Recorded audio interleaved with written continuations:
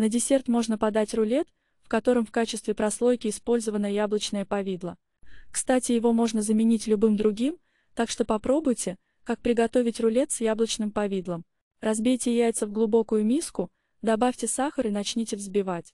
В несколько приемов добавьте просеянную муку и взбивайте венчиком или миксером, чтобы не образовывались комочки. Соду погасите уксусом. Добавьте ее в тесто и хорошенько смешайте. Противень застелите пергаментом и смажьте его растительным маслом.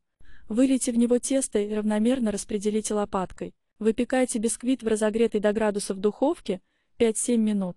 Отделите корж от пергамента, и пока он еще горячий, намажьте на него повидло. Сверните корж с повидлом в рулет и оставьте его до остывания. После этого нарежьте и подавайте к чаю.